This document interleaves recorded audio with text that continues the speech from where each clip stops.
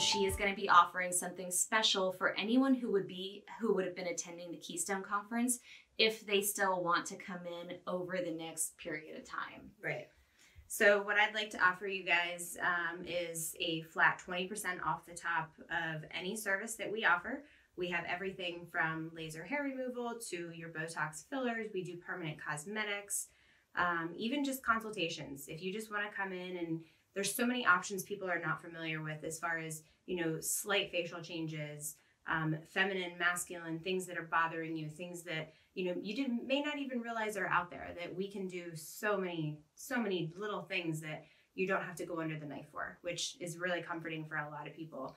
Uh, it can just even be a little a little perk that you know um, a lot of our, our girls are afraid of lip fillers just as an example. And you can actually use a little botox to get that little perk without the downtime without all the craziness that you have to go through with the swelling. And we just have a, have a lot of really great new techniques and new ideas that we would just love to offer to everybody.